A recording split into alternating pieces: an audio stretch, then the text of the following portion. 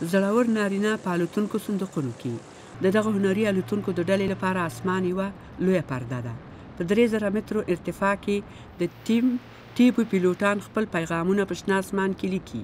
دوی په المان کې د سکای ټیکست یا اسماني پیغامونو مخکښان دي.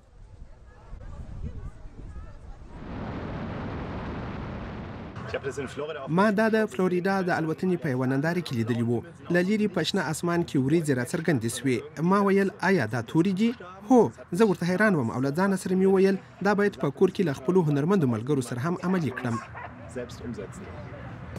اصلا څلور څلوېښت کلن ټیم د سپرلیو یا مسافرو الوتکې چلوي خو هغه هنرمند هم دی او په خپله ډله کې څلور نور همکاران هم له ځان سره لري په 2020 کال کې ټیم تیبو د سکای ټکسټرانو شرکت تاسیس کړ اوس هغه په اسمان کې اشتهاري پیغامونه لیکي مثلا د فوټبال د کلب باین مونشن د غږیزو آلاتو یو جوړونکي یا د انټرنیټي فلمونو د یو پورتال لپاره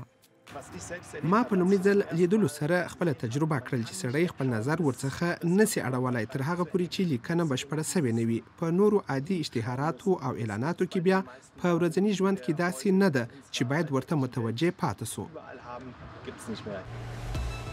اسماني لیکنې د باد د وضعیت مطابق یو څو دقیقې د لیدو وړ وي.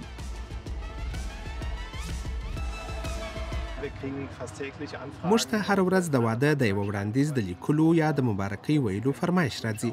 اصلا ورته اماده هم یو، خو کله چې ورته ووایو چې تر لسونو زرو زیات لګښت لري، نو خبری ژر راسره کته سی.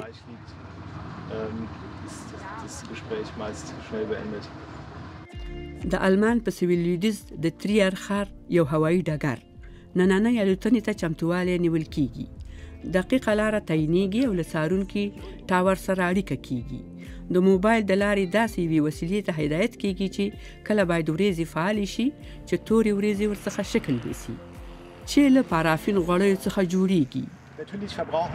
الوتکې مو هرو مرو تیل سوځوي. د تیلو دغه مصرف چې په الوتنه کې یې لرو په سویلي امریکا او افریقا کې د اقلیمي شریکانو د پروژو په مرسته جبرانوو چې د کاربن ډای اکسایډ سپما پکښې کیږي. د اسماني پیغامونو تر ټولو ستر چلنج دا دی چې پیلوټان باید د وي توري یا یوې څوکۍ په څیر له جوړښت څخه یوې نیغې لیکې ته برابر شي او هغه هم وساتي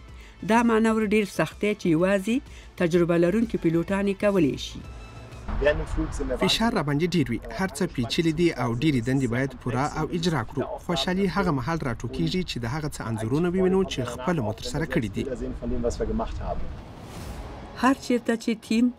تیبو او همکاران یې راڅرګندیږي، اسمان یو څو شیبې څرګند او ښکاره پیغامونه راته لري.